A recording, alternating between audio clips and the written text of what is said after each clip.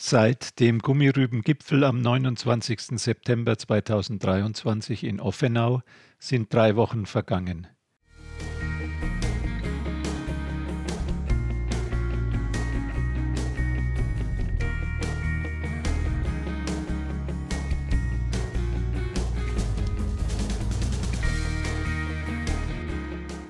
Wir haben vor wenigen Wochen die Taskforce gegründet, die intensiv am Thema SBR arbeitet.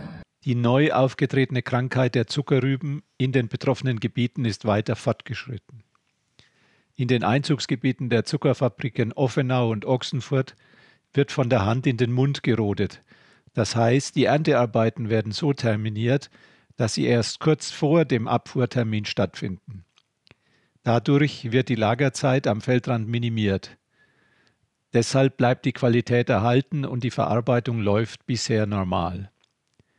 Mit den nun etwas kühleren Temperaturen hoffen wir, dass in den kommenden Wochen eine etwas längere Lagerung am Feldrand möglich wird. Aus der Taskforce heraus sind zahlreiche Aktivitäten angestoßen worden. Erstens Lagerversuche gerodeter Rüben in praktisch allen Rübenabteilungen. Hier sollen wichtige Erkenntnisse für die Vorratsrodung ab Anfang November gewonnen werden. Zweitens Einrichtung von Modellregionen mit besonderen ackerbaulichen Maßnahmen zur Bekämpfung der Gummirübenkrankheit. Drittens Gespräche mit den Zuckerrübenzüchtern. Es geht um Themen wie zum Beispiel Grundlagenforschung. Wo müssen wir noch mit Spezialisten Sachen bearbeiten rund um die Bakterien, rund um die Zikaden? Es geht um das große Thema Züchtergespräche, Highlightergespräche. Wir hatten gestern ein erstes Gespräch mit einem Züchter. Dort gibt es sehr vielversprechende Genotypen. Hallo, guten Tag. Ich bin äh, Rob van Detering, äh, der Geschäftsführer vom CES von der Have. Und äh, ja, in, in Deutschland sind wir, äh, das war äh, schon acht, neun, neun Jahre vorher, haben wir äh, einen, ja, eine neue Challenge angenommen, um eine Lösung zu finden für SBR. Und heute kommt da wieder neue Aufgaben und wir sind sehr froh, dass wir für die ersten SBR eine, eine gute Lösung gefunden haben. So, heute haben wir ja, neue Challenges zu, zu arbeiten. Und Hendrik, vielleicht können Sie ein bisschen erklären. Ja, hallo, ich bin Hendrik Schöp, verantwortlich für die Züchtung bei CES von der Habe und haben die Taskforce SBH besucht.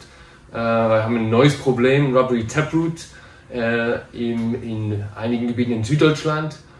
Und wir haben heute direkt besprochen äh, mit der Taskforce, welch, wie wir das Problem angehen können, haben Probleme äh, und neue Projekte äh, besprochen und auch schon beschlossen.